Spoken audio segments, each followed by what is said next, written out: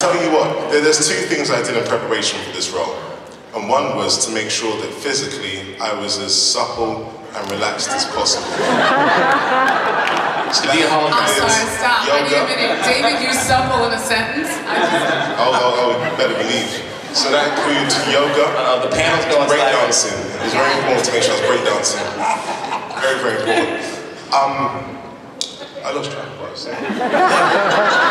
Yeah, so, okay, so the, question. basically, there, there's a lot of very, very cool stuff I get to do.